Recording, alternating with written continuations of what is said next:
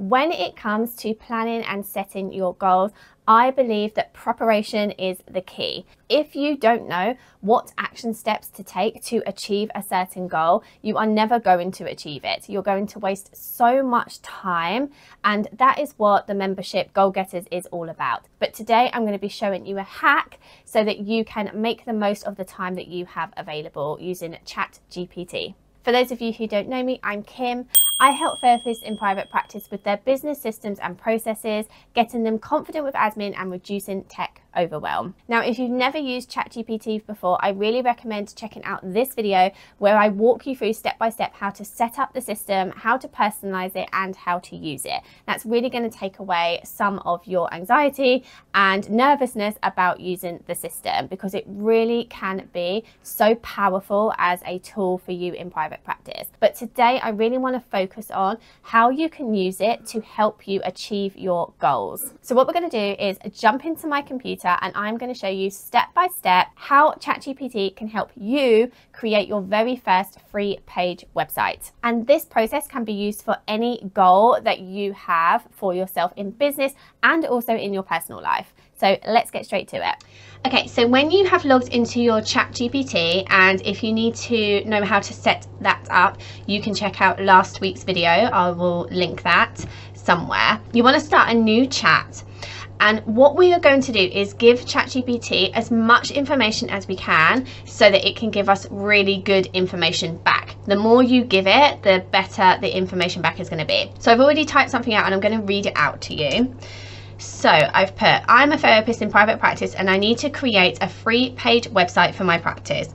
I'd like to have this completed in 12 weeks with week one being the 1st of August 2024. I have around five hours per week to dedicate to this task, but I have a two week holiday, week commencing the 15th and week commencing the 22nd of August 2024, where I won't be able to do any work on this project. I have chosen to use Squarespace and I own a domain, but I have not yet signed up to Squarespace. I also need time to do some research around what I'd like to be on the pages as I haven't yet written the copy or taken any pictures for the website. My SMART goal is that I would like to create a free page website for my private practice by the 1st of November 2024. It will contain three pages, a homepage, an about page and a service page. Based on the time I have available, can you please give me a weekly action plan for what I should do in the five hours I have available per week from the 1st of August to the 31st of October to achieve this goal? If you need to know any further information, please let me know. So let's see what ChatGPT has for us.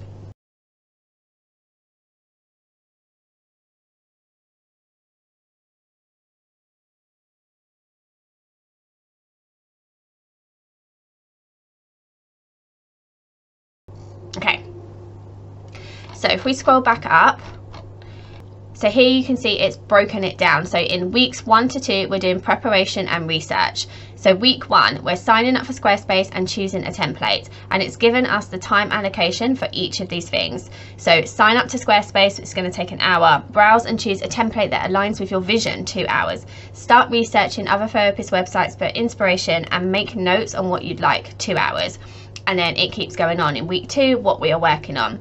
Weeks three and four, we've got a break for holiday, no work scheduled. Week five, we're finalizing content ideas and an initial draft. So it's giving us all the breakdown of what it is that we're going to do. Now this is amazing. It's probably got things in here that you haven't thought about yourself, but we can take that even further. So let's say, okay, well I don't know how to sign up for Squarespace, so how do I do that? So we can copy this and we can say, thanks, because I'm always polite to ChatGPT. Um, this is awesome.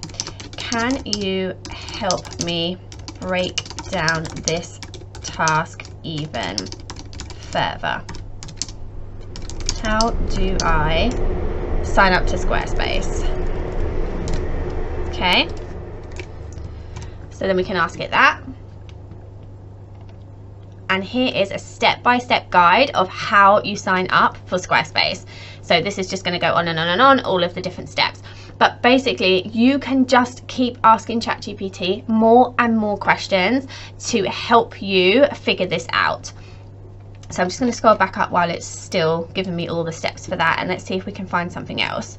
Okay, so this one seems quite um, outline the structure and key points for each page. So we can maybe ask ChatGPT, okay, what is a great structure for each of the pages? So let's ask it that as well.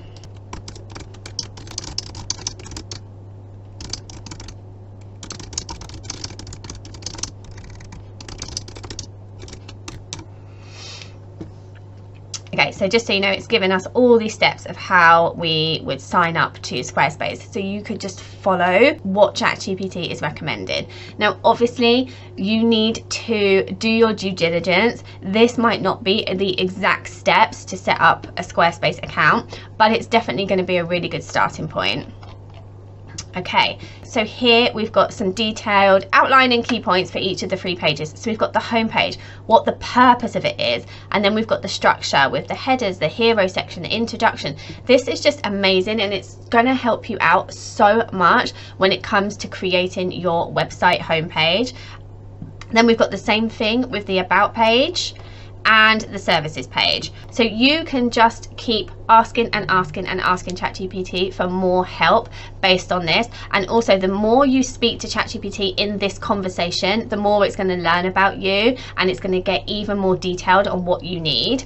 So I would highly recommend using ChatGPT to help you with your goals as a starting point. This might not be the finalized version of what you're working on. It might take you double the amount of time to sign up to Squarespace than ChatGPT is telling you it's going to take. I'm not saying this is like you should just stick to this 100% and this is going to be everything you need. It's probably not, but it's going to be an amazing starting point for you and also give you confidence that what it is that you want to achieve in any given quarter or any given time frame is achievable. So I would highly recommend just having a play with this. Just make sure to give it as much information as you can in the offset because that is really going to help you when it comes back to ChatGPT's replies. And like I said, you can just keep asking it more and more and more, and then you can start moving this information onto some kind of project plan or onto your Google Calendar or something like that.